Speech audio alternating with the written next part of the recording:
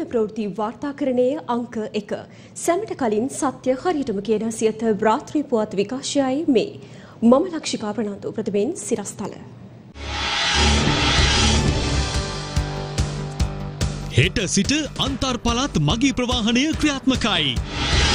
Vaccine සහතිකය නැතිනම් බස්ගාස්තු double. දින තිහට Covid මරණ එක් දහස් තුන්සිය ඉක්මවයි. ඇස්වස්සනිකා මාත්‍රා ලක්ෂ හතක් ජපානයෙන් ශ්‍රී ලංකාවට. පැපොලමෙන් දෙගුණේක වේගෙන් ඩෙල්ටා පැතිරෙයි. ඇමරිකාව කියයි. ඉශාලිනීගේ දෙවන මරණ පරීක්ෂණය පැය නවයක් පුරා. සියදිවි හානිකර ගැනීමට පාර කැපූ අයට නීතියේ දඩුවම් ඇති බව මහාචාර්ය ප්‍රතිබා මහානාම හේවා කියයි. ඇමති සරත්වීරසේකරට පොලිසිය ඉතිරිවෙයි. දිරන්නේ නැති ලංශීට් හෙට සිට තහනම් තවත් ප්ලාස්ටික් තහනමකට ඇමති අවධානය. ප්‍රථමයෙන් දේශීය පුවත්. පළාත් අතර පොදු ප්‍රවාහන සේවා හෙට සිට ආරම්භ කිරීමට රජය තීරණය කර තිබෙනවා. මේ අතර පෞද්ගලික බස් රථ හිමියන්ගේ සංගමේ සභාපති ගැමුණු විජේරත්න මහතා පවසන්නේ එන්නත් ගෙන නැති මගින්ගෙන් දෙගුණයක් අය කිරීමට සිදුවිය හැකි බවයි. දැන් සවිස්තරාත්මක කොවිඩ් වාර්තාව. රාජ්‍ය හා පුද්ගලික අංශයේ කටයුතු සාමාන්‍ය පරිදි ක්‍රියාත්මක වීමට අදාළව අන්තර් පළාත් පොදු ප්‍රවාහන සේවා හෙට සිට ආරම්භ කරන බව රාජ්‍ය අමාත්‍ය දිලුම් අමුණුගම මහතා ප්‍රකාශ කළා. සංචරණ සීමා ඉවත් කරනවා කියන එක තාම නිල වශයෙන් නිවේදනය කරලා නැහැ. නමුත් අපිට අනුමැතිය දීලා තියෙනවා පළාත් අතර බස් ධාවනය කරන්න. ඒ වගේම ඔබත් රජයේ නිලධාරීන්ට සේවයට වාර්තා කරන්න කියන පණිවිඩෙත් දීලා තිබුණා. හෙට දිනේ සිට විශේෂයෙන් රාජකාරී වේලාවන් වල කාලසටහන් අපි සක්‍රිය කරන්න බලාපොරොත්තු වෙනවා. විශේෂයෙන්ම උදේවරුවේ සහ හවස්වරු දුම්රිය සහ බස්රත සාමාන්‍ය කාලසටහන් අපි ධාවනය කරන්න බලාපොරොත්තු වෙනවා. ඒ අනුව ලංගම බස් රථ ධාවනය සම්බන්ධයෙන් ලංකා ගමනාගමන මණ්ඩලයේ සභාපති කින්සිල් රණවක මහතාද මේ ලෙස අදහස් පළ කළා. මේ වන විටත් අපි පළාත් තුල ධාවනය කරන ලද බස් රථ 3500ත් 4000ත් අතර ප්‍රමාණයක් පමණයි ධාවනය කරමින් සිටියේ. අන්තර් පළාත් බස් රථ 1500ක් පමණ ධාවනය කෙරුණේ නැහැ පහුගිය වකවානුව තුල. ඒ බස් රථ 1500 අපි ධාවනය කරන්න කටයුතු කරනවා. ඒ වගේම අධිවේගී මාර්ගවල සියලුම බස් රථ හෙට දිනේ සිට ධාවනය කිරීම ආරම්භ කරනවා. සඳුදා දින සිට අන්තර් පළාත් දුම්රිය ධාවනය කිරීම සඳහා මෙයට පෙර පැවති දුම්රිය වලට අමතරව නුවර සිට දුම්රිය දෙකක්ද බිලියත්තේ සහ ගාල්ලේ සිට තවත් දුම්රිය එක බැගින්ද මහව සිට එක දුම්රියක්ද හලාව සිට දුම්රියක්ද දුම්රිය සේවය ලබා දීමට කටයුතු කරනවා අපි වගකීමෙන් ඉල්ලීමක් කරනවා ජනතාවට කරුණා කරලා එන්නතේ කාඩ්පතේ ඡායා පිටපතක් සුරැකීව තියාගෙන බස් රථයේ ගමන් කරන්න කටයුතු කරන්න යම් ආකාරයේ එය පෙන්වන්න අවශ්‍ය වුණොත් ඒ ලබා දෙන්න කොන්දොස්තර මහතාට ලබා දෙන යෝජනාවලිය අපි ඉදිරිපත් මොකද මේ එන්නත ලබා නොගත් අයට දෙගුණයක් ගෙවලා තමයි ඉදිරියේදී බස් රථවල යන්න සිද්ධ වෙන්නේ. ජපන් රජයේ ප්‍රධානයක් ලෙස ඇස්ට්‍රාසෙනිකා එන්නත් මාත්‍රා 7 ලක්ෂ 28 දහසක් පමණ මෙරටට රැගෙනු ලැබුවා. කොවිශීල්ඩ ඇස්ට්‍රසෙනිකා uh, එන්නතේ පළවෙනි මාත්‍රාව ලබාගෙන දෙවන මාත්‍රාව ලබා ගැනීමට නොහැකූ අයට අපි කියන්නට ඕනේ ඔබ කලබල වෙන්න එපා. අපි දින හතක් පමණ හැම එම්මෝ චාර්යාලයකම එක රෝහල මෙම දෙවන මාත්‍රාව ලබා දීමට බස්නාහිර පළාත තුල අපි කටයුතු කරගෙන යනවා. ගත වූ දින තියක කාලය තුළ මෙරටින් එක්දහස් තුන්සේ ඉක්මවා කොවිට් මරණ වාර්තාාවී තිබෙනවා. ඒ අනු මෙරට සමස්ත කොවිට් මරණ සංඛ්‍යාවද හාර දහස් තුන්සිය සීමාව ඉක්මවා ගොස් අවසන්. ඩෙල්ටා වෛරසය පැපොල වෛරසයමෙන් කිහිප ගුණයක වේගෙන් පැතිර යන බව එක්සත් ජනපදයේ රෝගපාලන හා වැලක්වීමේ මධ්‍යස්ථානය වාර්තා කරනවා. පැපොල ආසාධිතයකුවෙන් හතර දෙනෙකුට බෝවන අතර කොවිඩ් ආසාධිතයකුවෙන් අට දෙනෙකුට රෝගය ව්‍යාප්ත වන බව සඳහන්. එකම විසඳුම එන්නත් කරණය හා නිසි සෞඛ්‍ය පිළිබෙත් පිළිපැදීම බවයි නවතම අමරිකානු වාර්තාවක දැක්වෙන්නේ. රිෂාඩ් බදියුදීන්ගේ දිවසේ පිලිස්සී මියගිය ඉශාල්නීගේ දේහය පිළිබඳ දෙවන පශ්චාත් මරණ පරීක්ෂණයේ මූලික කටයුතු අද අවසන් වුණා. ඒ පේරාදෙනිය ශික්ෂණ රෝහලේදී. පැය නවයක් පුරා මරණ පරීක්ෂණ කටයුතු සිදු වූ බවයි ජ්‍යෙෂ්ඨ නියෝජ්‍ය පොලිස්පති අජිත් රෝහණ මහතා පැවසුවේ. පේරාදෙනිය ශික්ෂණ රෝහලේ නියෝජ්‍ය අධ්‍යක්ෂ වෛද්‍ය චන්දන විජේසිංහ මහතා සියත අප කළ විමසීමකදී ප්‍රකාශ කළේ මූලික පරීක්ෂණයේ වාර්තාව අදාළ අංශ වෙත ලබා දීමට නියමිත බවයි. පිලිස්සී මියගිය ඉශාලිනිගේ සිරුර පිළිබඳ දෙවන පශ්චාත් මරණ පරීක්ෂණය අද පෙරවරු අටයි තිහට ආරම්භ වුණා. එය පස්වරු පහයි පහළව දක්වා පැවැත්වුණු බවයි පොලිස් මාධ්‍ය ප්‍රකාශක ජේෂ්ඨ නියෝජ්‍ය පොලිස්පති අජිත් රෝහණ මහතා ප්‍රකාශ කළේ. ප්‍රථමයෙන් CT ස්කෑන් පරීක්ෂණයකට මෘත ශරීරය භාජනය කර තිබෙනවා. හිටපු අමාත්‍ය රිචාඩ් බදුරුදීන් යන අයගේ නිවසේ සිටි දැරියගේ මෘතදේහයට අදාළව දෙවැනි පශ්චාත් මරණ පරීක්ෂණය අද දිනේදී පේරාදෙනිය ශික්ෂණ රෝහලේ මෘත ශරීරාගාරයේදී පවත්වා තිබෙනවා. මෙම මෘත ශරීරය සම්බන්ධව දෙවැනි පශ්චාත් මරණ පරීක්ෂණය පවත්වනු ලැබුවේ ත්‍රිපුද්ගල විශේෂඥ අධිකරණ වෛද්‍ය මණ්ඩලයක් හමුවේ. මෙහිදී අද දින උදෑසන 8:30ට පමණ මෙම පශ්චාත් මරණ පරීක්ෂණය පැවැත්වීම ආරම්භ කර තිබෙන අතර එය සවස 5:15 දක්වා පැය 9කට ආසන්න කාලයක් පවත්වා තිබෙනවා. මේ පශ්චාත් මරණ පරීක්ෂණයේදී විශේෂයෙන්ම අදාළ විශේෂඥ අධිකරණ වෛද්‍ය මඩුල්ල විසින් ප්‍රථමයෙන්ම මෘත ශරීරය CT ස්කෑන් පරීක්ෂාවකට ලක් කර තිබෙනවා. විශේෂයෙන්ම මෘත ශරීරයේ අභ්‍යන්තර තුවාල, අස්ථි බිඳීම් මේ ආදී කරුණු පිළිබඳව සොයා බැලීම සඳහා එවැගේම ඉන්පසුව දීර්ඝ ලෙස එම පශ්චාත් මරණ පරීක්ෂණය පවත්වා මෘත ශරීරයේ විවිධ කොටස් වලින් සාම්පල් ලබාගෙන තිබෙනවා. ඒවා රසායනාගාර පරීක්ෂණ සඳහා යොමු කිරීමට නියමිතව තිබෙනවා. ඒ අනුව ඒ සියල්ල ලැබුණු පසු විශේෂයෙන්ම මේ සම්බන්ධයෙන් පූර්ණ වාර්තාවක් ලබා දීමට නියමිතව තිබෙනවා. ඒ වගේම දැරියගේ මෘත ශරීරය එම පූර්ණ වාර්තාව ලබා දෙන තුරු පේරාදෙනී රෝහලේ මෘත ශරීරාගාරයේ තැබීමට නියමිතව තිබෙනවා. ඒ අනුව පොලිසිය විසින්ද විමර්ශන කටයුතු සිදු කරනු ලබන අතර මෙම පශ්චාත් මරණ පරීක්ෂණ වාර්තාවෙන් ලැබෙන දත්යන් ඔස්සේ තවදුරටත් පරීක්ෂණ පැවැත්වීමට නියමිතයි. පශ්චාත් මරණ පරීක්ෂණය සඳහා පසුගියදා විශේෂඥ වෛද්‍ය මණ්ඩලයක්ද පත් කෙරුණා. ඔවුන්ගේ ප්‍රධානත්වයෙන් වී අද පෙරවරුවේ මරණ පරීක්ෂණ කටයුතු ආරම්භ වුණේ. පේරාදිනිය ශික්ෂණ රෝහලේ නියෝජ්‍ය අධ්‍යක්ෂ වෛද්‍ය චන්දන විජේසිංහ මහතා සියත අප කළ විමසීමකදී ප්‍රකාශ කළේ මරණ පරීක්ෂණය පැවැත් වූ විශේෂඥ වෛද්‍ය මණ්ඩලය විසින් එහි මූලික පරීක්ෂණ කටයුතු අවසන් කර ඇති බවයි. යම් අපරාධයකට ගොදුරු වූ තැනැත්තෙක් හෝ තැනැත්තියක සියදිවි නසාගත් පමණින් අපරාධයට සම්බන්ධ වූවන්ට අපේ රටේ නීතියෙන් ගැලවී යා නොහැකි බව මහාචාර්ය ප්‍රතිභා මහානාම හේවා මහතා ප්‍රකාශ කරනවා. යම් අයෙකු සියදිවි නසා ගැනීමකට පෙළඹ වූ අයට මරණ පරීක්ෂණ, පොලිස් පරීක්ෂණ සහ ආසන්න සාක්ෂි මත දඬුවම් දිය හැකි බවයි මහාචාර්ය ප්‍රතිභා මහානාම හේවා මහතා අවධාරණය කරන්නේ. රිෂාඩ් බදුදීන්ගේ නිවසේදී පිලිස්සී මියගිය දැරිය සම්බන්ධව විවිධ මත අදහස් සමාජගත වෙමින් තිබෙනවා. සමහරුන් මෙය හුදෙක්ම පාට පක්ෂ දේශපාලනය තුළ ලඝු කිරීමට උත්සාහ දරනවා.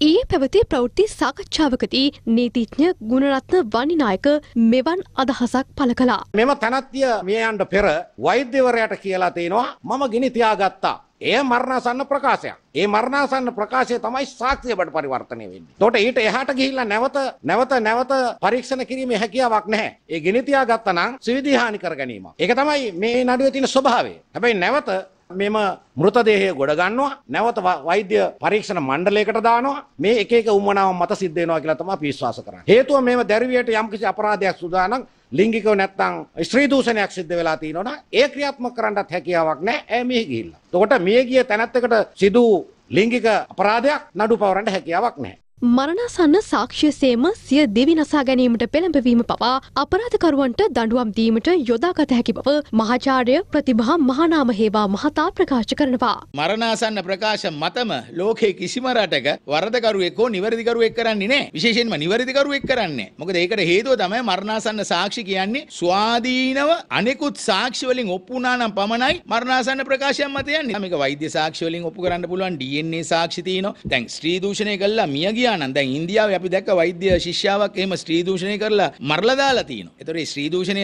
සඳහා වුණාද නැද්ද කියන එක පශ්චාත් මරණ පරීක්ෂණ තියෙනවා. ඒ පශ්චාත් මරණ පරීක්ෂණය හොයාගන්න පුළුවන්. ක්‍රූරත්වයත් ඒ වගේ තමයි. ඉතින් ඒ සාක්ෂි අරගෙන තමයි අදාළ සැකකරු අධිකරණයට අරගෙන නඩුව විභාග කරන්නේ. සියදිවි නසා ගැනීම සඳහා යම්කිසි කෙනෙක් පොළඹවනවා නම් ඒ වගේම උදව් කරනවා නම් ඒවට කුමන්ත්‍රණය කරනවා නම් ඒවා දණ්ඩ නීති සංග්‍රහය අනුව මේ අවස්ථාවේදී වරදක් ලෙස ලබා ගන්න පුළුවන්. නමුත් ඊටාම පිරිසිදු සාක්ෂි මගින් ඒ ඔප්පු කළ යුතුයි. තමන් ඇමතිව සිටි සමයේ සාධාරණ ලෙස බෙදා දුන් ඉඩම් වලින් ජනතාව එළවා දැමීමට වත්මන් රජය උත්සාහ දරන බව විපක්ෂ නායක සජිත් ප්‍රේමදාස මහතා පවසනවා. එම ඉඩම්වල රජයේ හිතවතුන් පදිංචි කිරීමට උත්සාහ දරන බවයි විපක්ෂ නායකවරයාගේ චෝදනාව. නැතිබැරි අනු පවුලට දුරදිග බලලා අපි ලබා දුන්නා තමන්ගේම නිවසක් හදා ගැනීමේ ඉඩම් ප්‍රමාණයක්. පර්චස් විස්සක් මේ ඉඩංවල නිත්‍යානුකූල භාවය ගැන මම ඇමති කාලේ කිසිම යුඩිය එකක් ආවේ නැහැ. කිසිම සංගණනයක් කරේ නැහැ. මේ ඔක්කොම වුණේ රටේ ජනතාව මාව ජනාධිපති හැටියට නුසුදුසුයි කියලා තීන්දුව කරයින් පස්සේ. දැන් මොකද්ද සිද්ධ වෙන්නේ? ශ්‍රී ලංකාවේ ජනතාවට අයිති ඉඩම් කුණු කොල්ලට විදේශකින්ට අලෙවි කරනවා. දැන් මේ ඉඩම් සූදුවක් යන්නේ. දැන් මේ ඉඩම් සූදුවට තමුන්නාන්සෙලත් මම ඉදිකරපු උදාගම්මාන පහත් අයිති වෙලා තියෙන්නේ. දැන් තමුන්නාන්සෙලා මේ ඉඩම් වලින් අයින් කරලා කාටද මේ ඉඩම් දෙන්න යන්නේ? දැනටමත් අක්කර 50 100 ලබා දුන්නු ගජමිතුරන්ට. මම එකක් කියන්න කැමතියි. මම ඇමති කාලේ කවුරුත් නිත්‍යානුකූල භාවයේ ප්‍රශ්න කරේ නෑ. මේ තියෙන්නේ මොකද්ද? මිනිස්සෙක් හැදෙනවට තියෙන ඊර්ෂියාව. කිසිම జగතෙකුට මේ ඉඩම් වලට අත තියන්න අපිට ඉඩ තියෙන්නේ ගෑස් ගැටලුවක් බවට පත් කළ බන්දුල ගුණවර්ධන අමාත්‍යවරයා ඉල්ලා අස්විය යුතු බව පාර්ලිමේන්තු මන්ත්‍රී මුජිබ රහමාන් මහතා පවසනවා. අද ගෑස් සිලින්ඩරයක් අලුතින් විලදී ගැනීමට රුපියල් 8000ක්වත් අවශ්‍ය බවයි ඔහු පවසන්නේ. ඒ කොළඹ පැවති මාධ්‍ය හමුවකදී. ලාෆ් සිලින්ඩරේ තියෙන උදවියට අර ලිට්‍රෝ සමාගමේ නිකුත් කරන ගෑස් සිලින්ඩරේ ලබා දෙන්නේ නැහැ. එතකොට දැන් ඒගොල්ලෝ අලුතෙන් සිලින්ඩරයක් ගන්න ඕනේ රුපියල් 8000කට වඩා අධික වෙනවා අලුත් සිලින්ඩරයක් ගන්න. පෞගේ සතියේ දිස්ත්‍රික්කෙන් දිස්ත්‍රික්කෙට ලීටර් 12 ගෑස් එකේ මිල ගණන් දාලා ගැසට් නිවේදනයක් දැම්මා. දැන් ලිට්‍රෝ ගෑස් එක දැන් ලීටර් 12 ගෑස් ගහන්නේ නැහැ. දැන් ලිට්‍රෝ ගෑස් එක විකුණන්නේ කිලෝග්‍රෑම් 12.5 ගෑස් එක. දැන් මොකද්ද මේ කරන වේලුව? මං හිතන්නේ බන්දුල ගුණවර්ධන ඇමතුමා ඉල්ලා අස්වෙන්න ඕනේ. මේ කරන බොරුවට.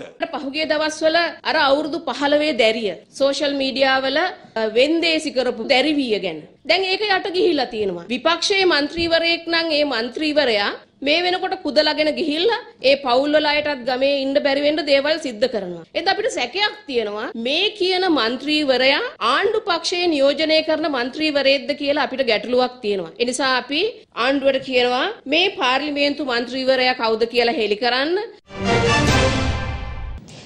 සංචාරක කර්මාන්තය සඳහා රට විවෘත කිරීමට සූදානම් බව රාජ්‍ය අමාත්‍ය ශෙහාන් සේමසිංහ මහතා පවසනවා. එසේම කොවිඩ් ආසාදිතයින් රට තුළට පැමිණීම වැළැක්වීම සඳහා පූර්ණ ආරක්ෂිත ක්‍රම අනුගමනය කරන බවයි ඔහු පවසන්නේ. ආණ්ඩුවේ වගකීම තියෙන්නේ දේශපාලන තිරයක් පිට පස්සේ ඉඳලා උපදෙස් දෙන අයට හුම්කන් දීම නෙවෙයි සැබවින්ම ජනතාවගේ සහ රටේ අවශ්‍යතාවය ලෝකයේ පවතින තත්ත්වය තුළ ඉටු කිරීම. ඉතින් අපි සෞඛ්‍ය ආරක්ෂිත රටක් නිර්මාණය කරනවා විතරක් නෙවෙයි අපි වගකීමක් ගන්නවා මේ රටට එන හැම සංචාරකයෙක්ම කිසිදු රෝගී ආසාදිතෙක් කොරෝනා ආසාදිතෙක් නොවන පුද්ගලයන්ට විතරයි අපි අවසර දෙන්නේ අපේ රටට ඉන්න. අමාත්‍ය සරත් වීරසේකර මහතා සතුව තිබූ දෙපාර්තමේන්තු දෙකක් ජනාධිපතිවරයා යටතට ගෙන තිබෙනවා. ඒ අතිවිශේෂ ගැසට පත්‍රයක් මගින්. සිවිල් ආරක්ෂක දෙපාර්තමේන්තුව සහ බහුකාර්ය සංවර්ධන කාර්යබලකා දෙපාර්තමේන්තුව ආරක්ෂක අමාත්‍යංශය යටතට ගෙන තිබෙනවා. ඒ අනුව සරත් වීරසේකර අමාත්‍යවරයාට ඉතිරිව ඇත්තේ ශ්‍රී ලංකා පොලිසිය සහ ජාතික පොලිස් අභ්‍යාස ආයතනයයි.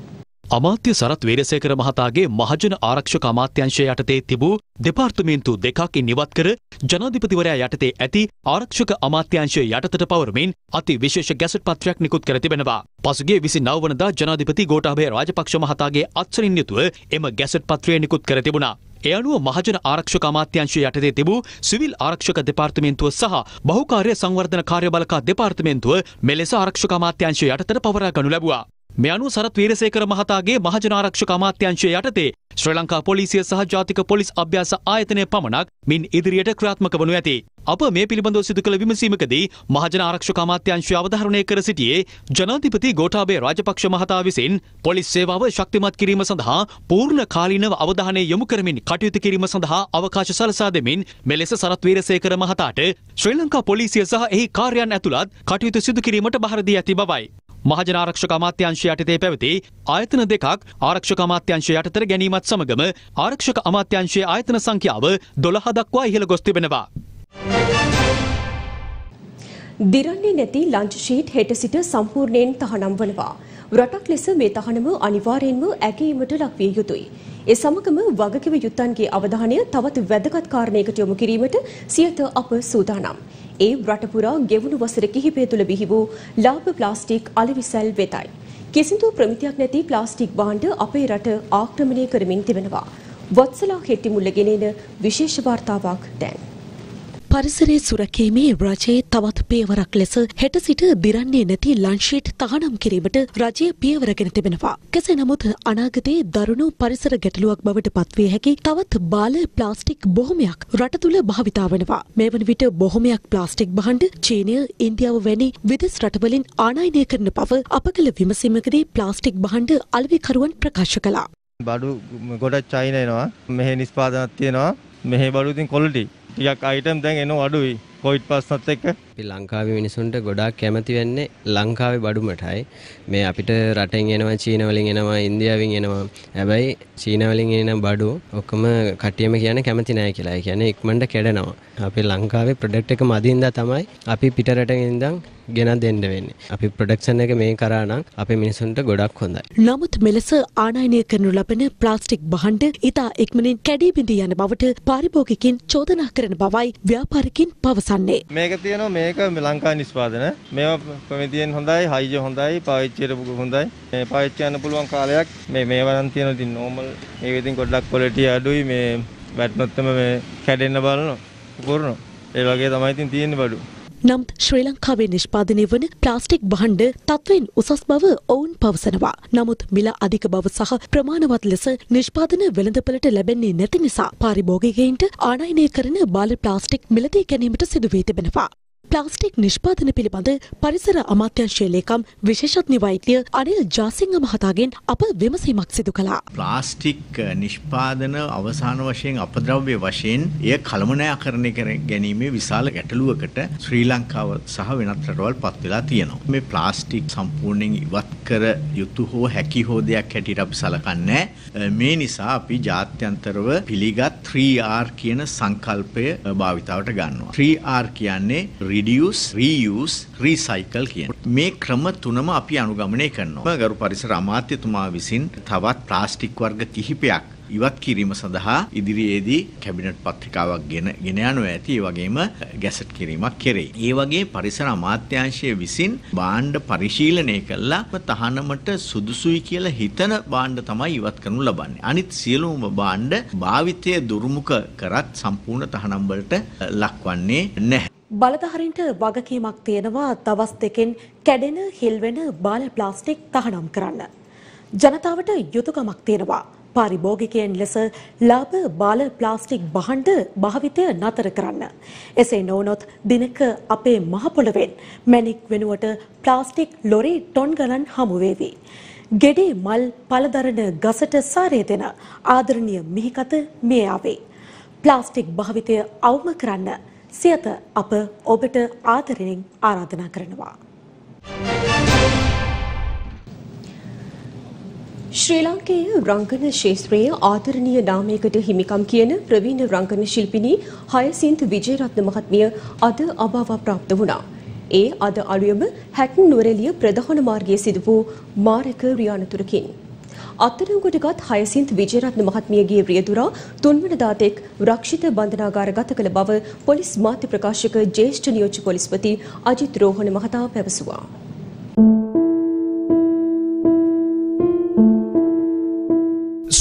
ශ්‍රී ලාංකේය සිනමාව සහ ටෙලිනාට්‍ය ශේෂත්‍රය තුළ සදා නොමැකෙන නාමයක් සටහන් කළ ප්‍රවීණ රංගන ශිල්පිනී හයිසින්තු විජයරත්න මහත්මිය රියානතුරකින් අභාව ප්‍රාප්ත වුණා. රුගත කිරීමක් අවසන් කර නැවත පැමිණෙන අතරතුරදී ලිතුල නගරාසන්නයේදී එතුමිය ගමන් කරමින් තිබූ වෑන් රථය ප්‍රපාතයකට පෙරලීමෙන් මෙම අනතුර සිදුවේ තිබෙනවා. පොලිස් නිලධාරීන් වහාම එතුමිය රෝහල් ගත කිරීමට පියවරගත් නමුත් හයිසින්ත් මහත්මිය ඒ වන විටත් මිය ගොස් සිට ඇති බවයි පොලිසිය සඳහන් කළේ.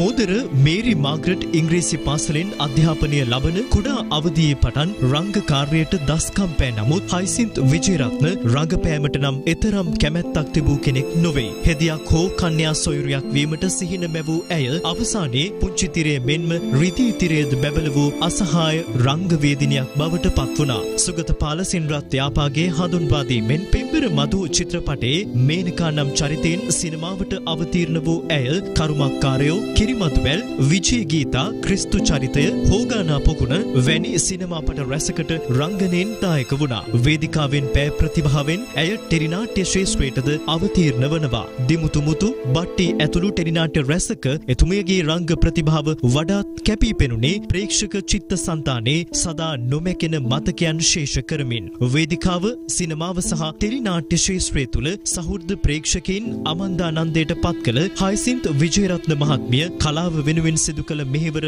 කිසිදා අමතක කළ නොහැකි. මෙරට ප්‍රේක්ෂකාගාරයේ හසරැල් මවා දිවි රංගමඩලෙන් බැස යන හයිසින්ත් විජයරත්නයන්ගේ අභාවය පිළිබඳ Voice of Asia මාධ්‍යජාලයේ සංවේගය අප මෙසේ පළ කරන්නෙමු.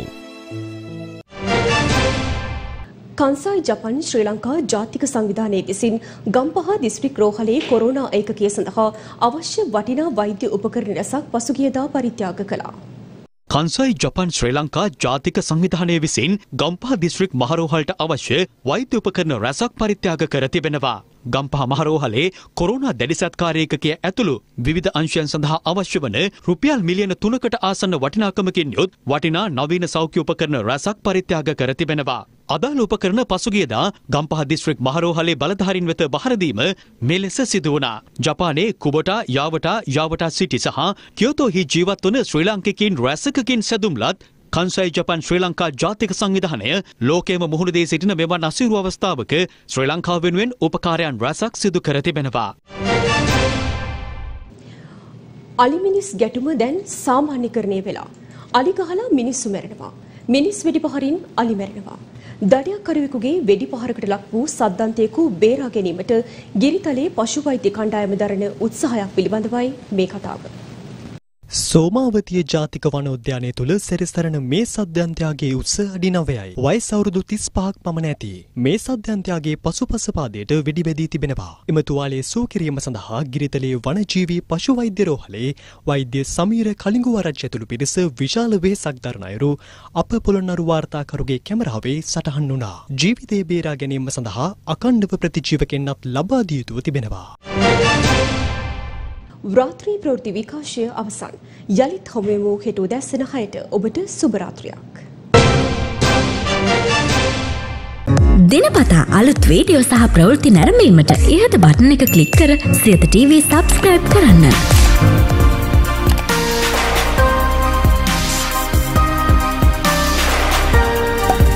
අලුත් වීඩියෝ ගැන මුලින්ම දැනගන්න මෙම සීනුව ක්ලික් කරන්න.